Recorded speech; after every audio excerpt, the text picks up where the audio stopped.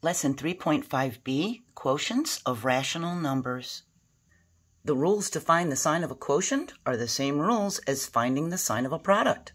Unlike signs produce a negative quotient or product, like signs produce a positive quotient or product. And the rules for dividing rational numbers are the same as dividing integers. And remember, we use a negative number to represent a decrease, withdrawal of money from a bank account, or loss. We use a positive number to represent an increase, deposit into a bank account, or gain. So here's our first example. Over four months, Bob wrote four checks for a total of $169 to pay for his cell phone bill. His cell phone bill is the same amount each month. What was the change in Bob's bank account each month to pay his cell phone bill? So we know what we need to find. We need to find the change in his bank account each month. And each month tells us to divide because it gave us four months. We need to find the quotient for the total from his bank account over the number of months.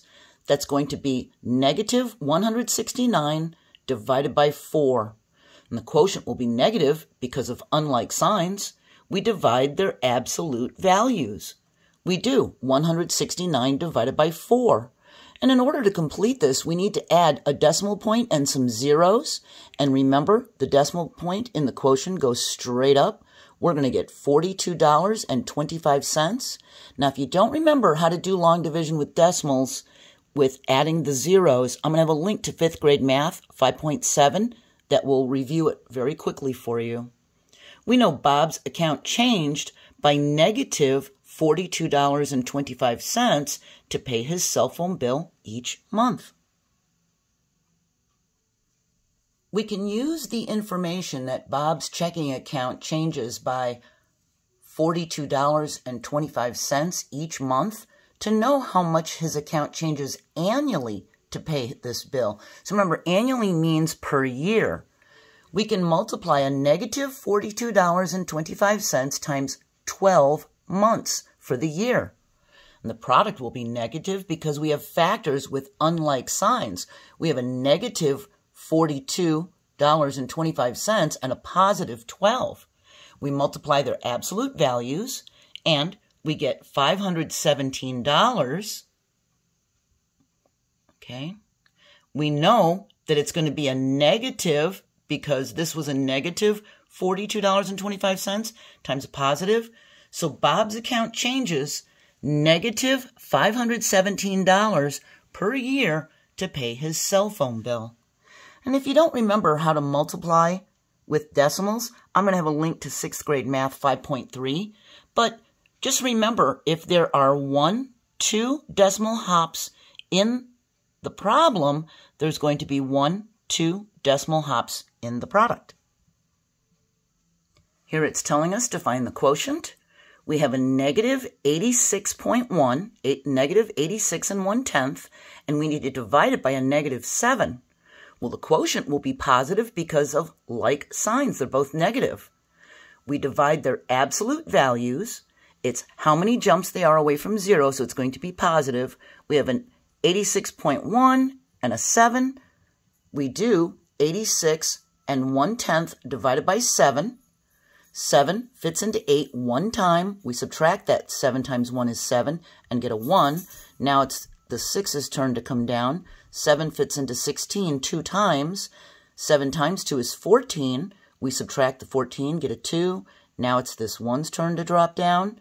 7 fits into 21 three times. 7 times 3 is 21. We get a 0 remainder.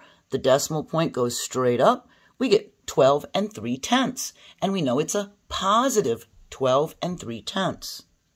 So if you don't remember dividing with decimals, I'm going to have a link to 5th grade math 5.4 for a review in the description.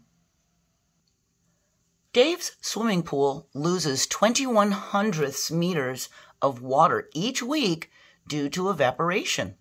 What is the change in water level per day? Well, there's seven days per week. We need to find the quotient for negative 21 hundredths divided by 7 because he's losing 21 hundredths of a meter. The quotient will be negative because of unlike signs. We do the division and get 3 hundredths. And it's a negative 3 hundredths because of the unlike signs. So the change in water level per day is negative 3 hundredths meters. Here it's telling us to find the quotient. We have a 72 divided by a negative 9. And the quotient will be negative because of unlike signs. And we think, well, 9 times 8 is equal to 72. We know it's a negative. It must be negative 8. Because multiplication is the inverse of division, we can use our knowledge of our math facts to help us go quicker. Again, it's telling us to find the quotient. We have a negative 42 hundredths divided by a negative 7 tenths. And the quotient will be positive because of the like signs. We're going to divide their absolute values, and we get 6 tenths. So remember, when you've got a decimal number on the outside here is the divisor. If we move it over to the right one hop, we'll be dealing with a whole number, but that means we have to move this decimal over one hop. And then the decimal point goes straight above here, okay? We get a positive 6 tenths. Now, if you don't remember how to do this, I'm going to have a link to a sixth grade math video 5.4b in the description for you to review really need to know how to do this decimal long division before you go any further in seventh grade. Okay, we're finished with part B. We're going to move on to part C, complex fractions, when the numerator and denominator are fractions. Did you know that a numerator or denominator, or even both, can be fractions? Have a wonderful day. Join me for the next part of the lesson.